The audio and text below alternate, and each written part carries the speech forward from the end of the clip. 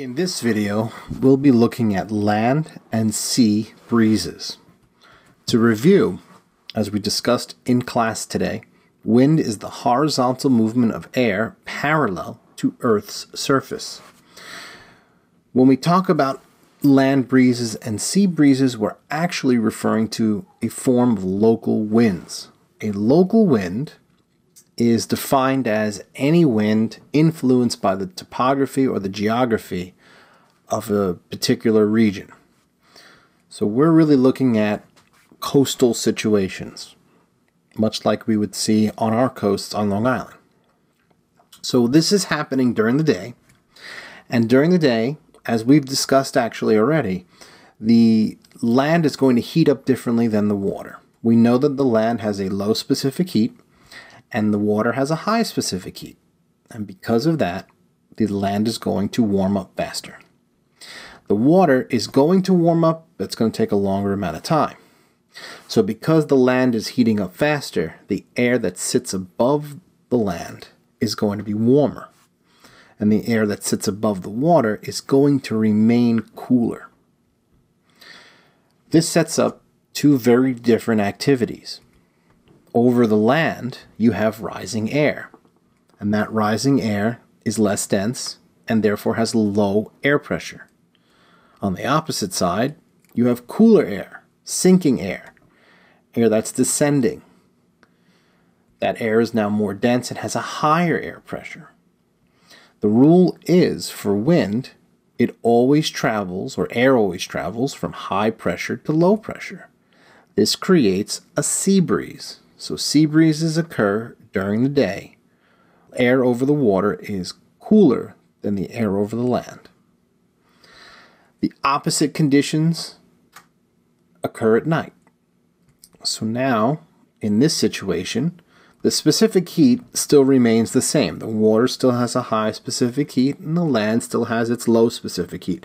But because of that, the land's going to lose all of the heat it had during the day, and the water is going to retain it. So it's pretty much the opposite of what we just looked at. The air over the water now is going to be warm, and the air over the land is going to be a little bit cooler. As a result, the air over the water is going to be rising, it's going to be less dense, and therefore have lower air pressure. And the air that's above the land is going to be much cooler, and therefore it's sinking more dense and therefore has a higher air pressure. This creates a high to low situation, only it's the opposite from what we saw during the day. This is now called a land breeze. Again, air is flowing from a high pressure to a low pressure. Just to look at it another way, here's the same situation. This is happening during the day. The land is heating up more than the water because it has a lower specific heat.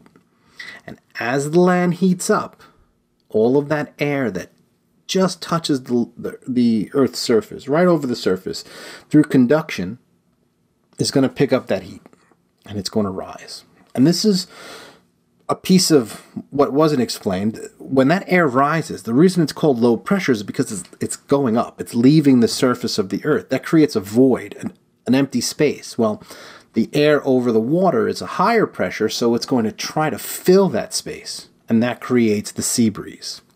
Now, at night, the opposite action is happening because the land is now cooled off because it has a lower specific heat. The water is going to stay warmer, and that warmth is going to generate heat for the surrounding air.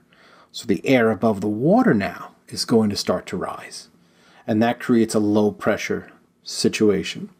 And that low pressure situation again creates a void, and the air that's now denser over the land fills in to fill that void. We call that a land breeze.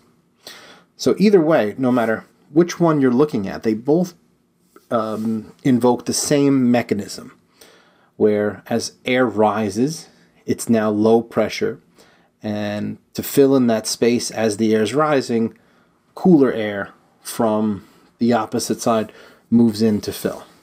Most importantly, to, re- to really reiterate something that the, the diagrams and the video show, showed you, the uh, sea breezes always happen during the day, and the land breezes always happen at night.